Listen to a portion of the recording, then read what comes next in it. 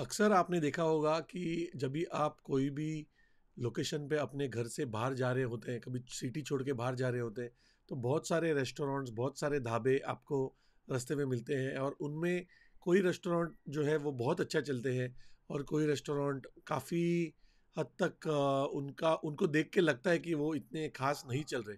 तो आज हम लोग बहुत ही इम्पोर्टेंट टॉपिक डिस्कस करेंगे और वो टॉपिक का नाम है कि आप एक हाईवे पे खुद का ढाबा या खुद का रेस्टोरेंट इंडिया में कैसे चालू कर सकते हैं?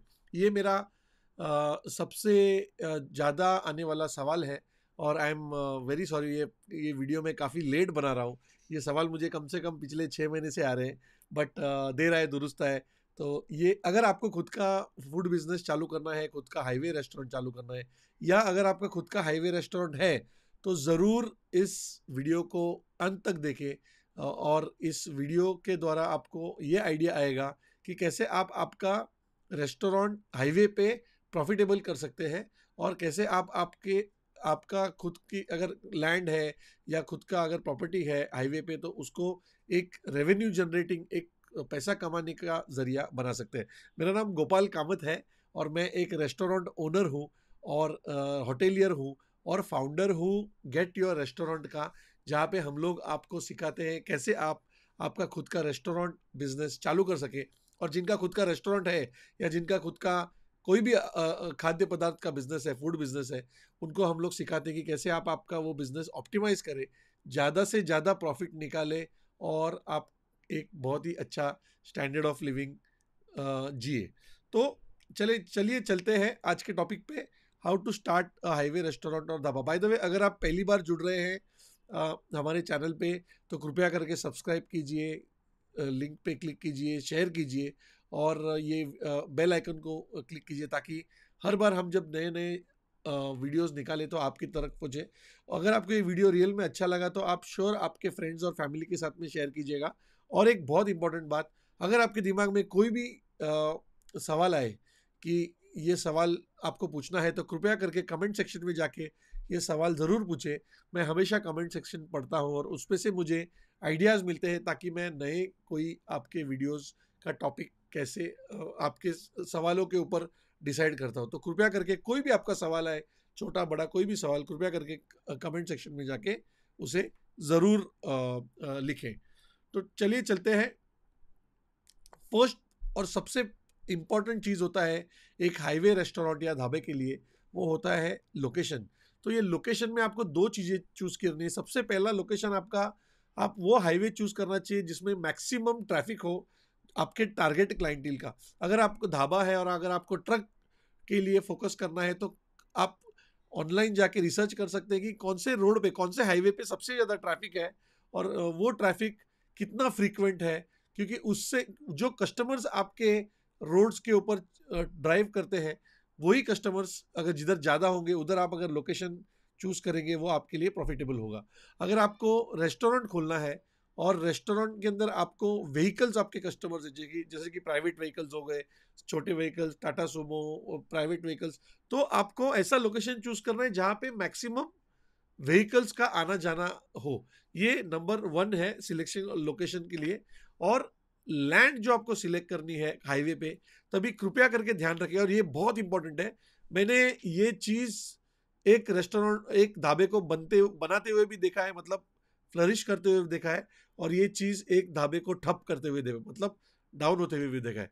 कभी भी अगर आपके पास ऑप्शन है तो रेस्टोरेंट जो हाईवे का मीडियन ओपनिंग होता है, जो बीच में का जो डिवाइडर होता है, वो डिवाइडर में जिधर गैप है उसके आजू बाजू में आपका रेस्टोरेंट खोलिए। उसके लिए दो रीज़न है।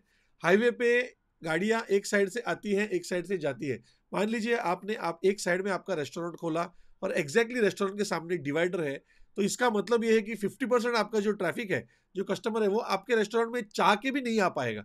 वो यू टर्न मार के तो आने वाला नहीं है क्योंकि वो आगे निकल जाता है। तो हो सके उतना जो है वो उसको मीडियन ओपनिंग कहते हैं, एक डिवाइडर होता है, वो ओपनिंग होता है जहाँ से आजू बाजू में सामने की गाड़ी आ सके। वैसा लोकेशन चूज़ करिए, क्योंकि हाईवेज आज की तारीख में इंडिया में बहुत तेज़ी से बढ़ रहे हैं हाईवे का नेटवर्क बढ़ रहा है और जितने अच्छे हाईवेज बनेंगे, उतने फास्ट गाड़ियाँ चलेंगी और जितनी फास्ट गाड़ियाँ चलेंगी, उतनी फास्ट फिर गाड़ियों को रुकाना, ये सबसे बड़ा चैलेंज हो जाता है फिर एक होटल ओनर को। गाड़ियों को अट्रैक्ट करना नहीं, गाड़ियों को स्टॉप करना, क्योंकि इतनी फास्ट आगे पीछे जा रही होती है गाड़ी थी उनको विजिबिलिटी दिखा के अपने रेस्टोरेंट में अट्रैक्ट करना ये बहुत बड़ा चैलेंज है। और कृपया करके ये पॉइंट हमेशा मिस मत कीजिएगा। और फिर लैंड जो है, उसके लिए भी अलग अलग चीज़ें लैंड लेवल होनी चाहिए, वो रोड को टच होनी चाहिए। इजी एक्सेस आपके जो रोड से जो व्हीकल है, वो इजीली पार्किंग लॉट में आना चाहिए। तो इस हिसाब से आप, आपका खुद का लोकेशन चूज़ कर सकते हैं। अगर आपकी खुद की लैंड है, जो ऑलरेडी खुद आप ओन कर रहे हैं तो फिर ये सब चीज़ें सोचने की ज़रूरत नहीं है, आप डायरेक्टली स्टार्ट कर सकते हैं। Second is long term lease अगर आपकी खुद की लैंड नहीं है तो कोई भी लैंड को मिनिमम 20-25 साल के लिए लॉन्ग टर्म लीज पे लीजिए, क्योंकि बहुत बार क्या होता है, लोग सोचते हैं कि यार पाँच साल चला के देखते हैं, एक साल चला के देखते हैं। रेस्टोरेंट अगर आप अच्छा क्वालिटी देंगे अच्छा खाना देंगे तो स्लोली एंड स्टेडीली आपका धंधा तो बढ़ना ही है। लेकिन अगर आपने लीज का पीरियड ही कम रखा तो उसके बाद आपका एक बार सेल अच्छा होने लगा तो जो लैंड ओनर होता है, उसके हाथ में कंट्रोल आ जाता है और वो फिर दूसरा किसी को दे सकता है या फिर आपसे डबल ट्रिपल फोर टाइम्स भी रेंट मांग सकता है। तो कृपया करके मिनिमम पंद्रह से बीस साल के लिए लैंड पे लीज कीजिए और आप इन्वेस्टमेंट भी करने वाले हो लैंड पे तो इन्वेस्टमेंट के लिए भी लैंड आपने लॉन्ग टर्म लीज लेना बहुत ही ज़रूरी है और हो सके तो और ये लीगल एडवाइस नहीं है, आपके लॉयर को पूछिए, आपके चार्टेड अकाउंटेंट को पूछिए, बट हो सके तो जो लीज एग्रीमेंट है उसको ज़रूर रजिस्टर कीजिएगा स्टैम्प ड्यूटी भर के कोर्ट में ताकि स्टैम्प ड्यूटी भर के रजिस्टर कीजिएगा ताकि उसे आप कोई भी कोर्ट में चैलेंज करेंगे तो आपके पास प्रूफ रहेगा, ओके? तीसरी आते हैं, फिर हम लोग प्लानिंग की तरफ़ आते हैं, कैसे हम हमारा जो हाईवे रेस्टोरेंट या ढाबा है वो प्लान करें। तो जब भी आप प्लान करेंगे तभी आपने एक बर्ड्स आई व्यू लेके प्लान करना है। बर्ड्स आई व्यू मतलब जो ईगल होता है जो ऊपर से देखता है आपका पूरा लैंड को तो, तो वहाँ पे प्लानिंग करना है। प्लानिंग में बहुत सारी चीज़ें होती है। सबसे नंबर वन आपका पार्किंग कितना बड़ा क्योंकि हाईवे पे मैक्सिमम गाड़ियाँ अगर आपके अंदर आएँगी तो सबसे पहले उनको पार्किंग के लिए जगह रहेगी। तो पार्किंग का आपको लोकेशन करना है आजू बाजू में पान शॉप या दूसरा कोई शॉप है, उसके लिए आपको प्रोविज़न करना है। उसके बाद मेन आपका रेस्टोरेंट जहाँ पे गेस्ट एरिया बैठेगा कस्टमर बैठेगा, उसके बारे में चूज़ करना है। उसके अटैच किचन के बारे में सोचना है। किचन जो है, वो रेस्टोरेंट का जो मेन एरिया है, उसको प्रोपोर्शनेट होना चाहिए। At least 25 percent of the whole area आपने किचन मान लीजिए 2000 स्क्वायर फीट या 3000 स्क्वायर फीट का आपका सिटिंग एरिया है तो कम से कम 700 800 हज़ार स्क्वायर फुट का किचन देना ज़रूरी है। क्योंकि इतने बड़ा 3000 स्क्वायर फीट का रेस्टोरेंट में कम से कम डेढ़ सौ दो सौ तीन सौ लोग बैठेंगे। उनका खाना बनने के लिए उतना बड़ा किचन लगेगा। उसके बाद स्टाफ के लिए आपको रूम्स और स्टाफ अकोमोडेशन के लिए रूम्स पीछे बनाएँगे तो अच्छा रहेगा। आप अभी हाईवे पे आपका खुद का रेस्टोरेंट है तो आप रेगुलरली नज़दीक के सिटीज़ से स्टाफ को आ, आ, आ, आते जाते आपको वो वैसा वाला स्टाफ नहीं चलेगा ना ही कोई स्टाफ आपके पास आएगा। तो आपको स्टाफ रूम अलग से रखना है। फिर स्टाफ का टॉयलेट्स हो गया स्टाफ का बेदिंग एरिया हो गया स्टाफ का खाने का एरिया हो गया, आपका कस्टमर्स के लिए अच्छा टॉयलेट्स रखिए। टॉयलेट से हमेशा क्लीन रखिए टॉयलेट्स हमेशा पॉश बनाइए, क्योंकि बहुत बार कस्टमर्स जो है, खास करके प्राइवेट कस्टमर्स वो क्लीनलीनेस देख के ही आपके पास आना चालू करेंगे। उसके बाद आपने इन्वेंट्री रूम रखना है गैस के लिए प्रोविज़न रखना है, तंदूर के लिए प्रोविज़न रखना है किचन इक्विपमेंट के लिए प्रोविज़न रखना है। तो ये सब चीज़ें प्लान करके आप पूरी तरह से प्लान करने के बाद आपने एग्जीक्यूशन करना है। प्लानिंग के बाद होता है प्लानिंग के बाद आप, एक मिनट ओके हाँ। तो प्लानिंग के बाद आपका फ़ेज़ आएगा building the phase, building of your restaurant और ढाबा एक बार आपका कंप्लीटली प्लान हो गया और उसमें आपने ऑन पेपर देख लिया कैसे चलेगा, क्या चलेगा, उसके बाद आप एग्जीक्यूट करेंगे, स्टार्टिंग आपका होगा कंस्ट्रक्शन फ़ेज़ से, सिविल होगा आपका, पहले आप फाउंडेशन होगा, उसके बाद आपका प्लिंथ बनेगा, प्लिंथ के बाद जो रेस्टोरेंट का फ्लोर बनेगा, किचन का फ्लोर बनेगा, साइड से स्ट्रक्चर, ब्रिक वॉल रूफिंग होगा, इलेक्ट्रिकल फिटिंग्स होंगे, वाटर वाटर का कनेक्शन आएगा, वाटर का प्लम्बिंग होगा, टाइलिंग होगा तो ये सब चीज़ें होंगी, उसके बाद फिर रेस्टोरेंट का सीट आउट आएगा, इंटीरियर्स चालू हो जाएँगे, इंटीरियर्स में कैसे आपका डेकोर है। प्लीज़ एक बात ध्यान रखिए कि हाईवे के जो रेस्टोरेंट में कस्टमर आने वाले हैं, वो लोगों को खाना अच्छा टॉयलेट्स क्लीन अच्छा उससे मतलब है। क्योंकि उनके पास ज़्यादा टाइम नहीं होता है, क्योंकि उनको दूसरी जगह जाना है। तो आप सिविल पे इंटीरियर्स पे इतना खर्चा मत कीजिए, जितना कंपेरेटिवली आपका रेस्टोरेंट अगर सिटी में होता तो उसमें करते थे। आपको बेसिकली क्लीन रखना है but don't over spend on your restaurant interiors क्योंकि आपको जो फ़ूड और जो ये आप सर्विस देंगे, वो एकदम एक्स्ट्रा क्वालिटी का होना चाहिए और डेकोर भी अच्छा होना चाहिए। मैंने ऐसा बोल रहा हूँ कि एकदम गंदा सा डेकोर करो पर एकदम ऐसा मतलब सस्ता वाला पतरा लगाओ वगैरह जो बनाना है वो अच्छा बनाओ लेकिन ओवर स्पेंड मत कीजिए। Don't try to create a Taj Mahal for your dhaba क्योंकि वो देखने के लिए लोग आ रहे उनका पर्पज अलग है। उनका पर्पज स्टॉप ओवर है उनका पर्पज आपके इधर आके दो घंटा बैठना नहीं है। तो कृपया करके वो वो जो वेरिएबल है वो दिमाग में रखिएगा और फिर बिल्ड करने के टाइम पे आपका पूरा बिल्डिंग स्ट्रक्चर आएगा आपका आ, आप आपका इलेक्ट्रिकल होगा fit electrical fitting sorry kitchen बनेगा, आपका किचन इक्विपमेंट आएँगे इन्वेंट्री रूम्स आएँगे क्रॉकरी, कटलरी परचेज होगी, किचन में इक्विपमेंट्स परचेज होंगे, तंदूर परचेज होगा। तो ये सब जो फ़ेज़ है, ये बिल्डिंग फ़ेज़ में आता है और बिल्डिंग फ़ेज़ के टाइम पे आपको मैक्सिमम आपका जो कैपिटल है, वो आपको इन्वेस्ट करना पड़ेगा। फर्नीचर आता है फिक्सचर आता है कैश काउंटर आएगा, आपका मान लीजिए पावाजी काउंटर है तो पावाजी काउंटर आएगा और सब इक्विपमेंट जो है स्टाफिंग होएगा आपका स्टाफ के लिए ये होगा क्या बोलता हूँ उसको, यूनिफॉर्म लिया जाएगा, स्टाफ को अकोमोडेशन किया जाएगा और आपका रेस्टोरेंट आप ये जो है वो बिल्ड फ़ेज़ होता है फोर्थ वाला, उसके बाद मैनेज फ़ेज़ आता है। मैनेज मतलब जब भी आप आपका रेस्टोरेंट या ढाबे का ऑपरेशंस चालू करते हैं तो ऑपरेशंस के टाइम पे एक साइड डेट डिसाइड करके वो डेट में आपने पूजा पाठ जो भी करके आपका ओनर करके रेस्टोरेंट चालू कर देना है। और फिर मेनू मेनू डिसाइड होके मेनू आपको रेडी होगा, वो बिल्ड फ़ेज़ में ही आएगा। और फिर मेनू स्टार्ट करके रेस्टोरेंट सर्विस चालू कर देना है कस्टमर्स को खाना पीना देने को और उनका बिलिंग सिस्टम वो सब रेगुलरली चालू हो जाएगा। मैनेजमेंट में आपको ये फोकस करना है हमेशा दो तीन चीज़ों पे। सबसे main is profitability increasing your profitability second is reducing your wastage और तीसरा मेन चीज़ है कि आपका कस्टमर का एक्सपीरियंस सिमलेस होना चाहिए, वो आपको हमेशा ध्यान रखिए। और कस्टमर का एक्सपीरियंस सिमलेस होने के लिए दो तीन चीज़ें आपने दिमाग में रखनी चाहिए। पहले ही तो क्वालिटी ऑफ़ फ़ूड सेकेंडली आपका क्लीनलीनेस ऑफ़ द रेस्टोरेंट जो रेस्टोरेंट है, उसका पीरियोडिक एवरीडे का सेट टेबल कीजिए। मॉर्निंग आफ्टरनून इवनिंग में साफ़ होना है मतलब होना है। और तीसरा और बहुत इंपॉर्टेंट चीज़ ये होता है कि आपने हमेशा कस्टमर का फीडबैक लेते रहना है ताकि आपको पता चले किस चीज़ में आप गलत हो रहे हैं और किस चीज़ में आप सही हो रहे हैं। ओके?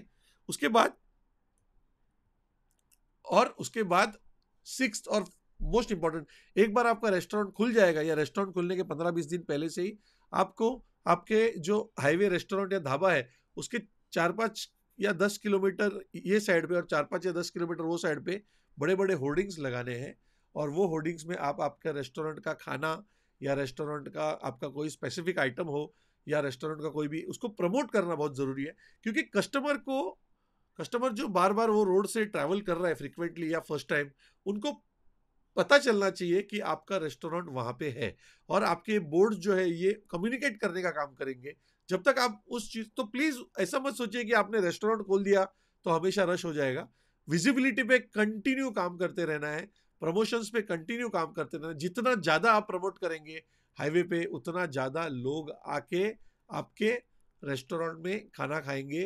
क्योंकि उनको पहले हाईवे पे पता चलेगा कि वो रेस्टोरेंट है। जब भी दस किलोमीटर पहले आपका बोर्ड देखेंगे, तभी उनके गाड़ी में डिसीज़न होगा, ओके, ये रेस्टोरेंट में खाना खाएँगे। वो आपके रेस्टोरेंट के सामने आएगा, तभी वो डिसाइड नहीं करेगा। वो पाँच दस किलोमीटर पहले डिसाइड करेगा और वो फिर एक्टिवली सीख करेगा आपके रेस्टोरेंट को, जो कस्टमर है वो ढूंढेगा कहाँ पे गया दो किलोमीटर, तीन किलोमीटर। तो आपने लिटरली हर एक किलोमीटर, दो, तीन किलोमीटर पे एक एक साइन बोर्ड लगा के, भले बड़ा मत लगाइए, छोटा लगाइए, लेकिन उनको इंडिकेट करना है कि मेरा रेस्टोरेंट आ रहा है, आपका स्पीड थोड़ा स्लो कीजिए, ताकि ये विजिबिलिटी बेकरार बिल्कुल रहे और इससे आपको खुद रेगुलर फ्लो ऑफ़ कस्टमर्स आपके ढाबे में या रेस्टोरेंट में चालू रहे, ताकि आप फोकस करके ज़्यादा से ज़्यादा कस्टमर्स को खाना खिला के ज़्यादा से ज़्यादा सेल्स करके, ज़्यादा से ज़्यादा प्रॉफिट कर सके। आई होप ये वीडियो आपको अच्छा लगा होगा। और अगर आप खुद एक ढाबा ओनर है, या आपको खुद का ढाबा चालू करना है, या अगर आपको कोई भी दूसरा टाइप का फ़ूड बिज़नेस चालू करना है क्लाउड किचन है होम किचन है, या रेस्टोरेंट है, या कैफ़े है पाव भाजी कॉर्नर कुछ भी टाइप का रेस्टोरेंट अगर आपको बनाना है फ़ूड बिज़नेस बनाना है तो मैं एक कोचिंग प्रोग्राम रन करता हूँ, जिसका नाम है restaurant launch formula coaching program R L F C P ये वेबसाइट पे जाइए W W W dot Gopal Kamat dot in और चेकआउट कीजिए मेरा कोचिंग प्रोग्राम अभी कम से कम 300 लोगों ने मेरा कोचिंग प्रोग्राम ज्वाइन किया है और उसमें से कम से कम पचास से साठ लोगों ने खुद का रेस्टोरेंट या अलग अलग टाइप का फ़ूड बिज़नेस बनाया है। बाय द वे ये कोचिंग प्रोग्राम सिर्फ़ एक कोचिंग प्रोग्राम नहीं है, इसके साथ में मैं हर वीक का आपको लाइव सपोर्ट देता हूँ फॉर लाइफ टाइम। सो ऐसा मत सोचिए कि यार एक एक वीडियो कोर्स दे दिया और ओके, टाटा बाय बाय कर दिया। मैं हर वीक लाइव आता हूँ ऑन ट्यूजडेज और ये लाइफ टाइम के लिए आपको है, आपका आपका जो कोचिंग प्रोग्राम में आप इनरोल करेंगे जस्ट फॉर वंस और उसके बाद लाइफ टाइम के लिए मैं आपके साथ आऊँगा और आपका कोई भी सवाल है उसको आंसर करूँगा। यूजुअली हमारा जो लाइव सेशन होता है वो ट्यूसडेज को होता है, मंगलवार को होता है, शाम को छः बजे और जूम कॉल पे हम लोग आते हैं, आप सब लोग जुड़ते हैं, सब मेंबर जुड़ते हैं जिन लोगों को कोई सवाल पूछना है या कुछ नया सीखना है और वो मेरे से डायरेक्टली बात करते हैं। तो कृपया करके W W W dot Gopal dot in पर जाइए। मेरा restaurant launch formula coaching program checkout कीजिए। अगर आपको पसंद आए तो यू आर मोस्ट वेलकम ज़रूर ज्वाइन कीजिए। ये वीडियो को प्लीज़ अगर आपको अच्छा लगा वीडियो तो शेयर कीजिए। अगर आपके मन में कोई सवाल है तो कृपया करके नीचे जाके कमेंट सेक्शन में ये सवाल ज़रूर पूछे और मुझे ऐसे ही आपका सपोर्ट देते रहे। मेरा नाम गोपाल कामत है, मैं होटेलियर हूँ और मैं आपको मिलूँगा अगले वीडियो में। Thank you so much for watching the video bye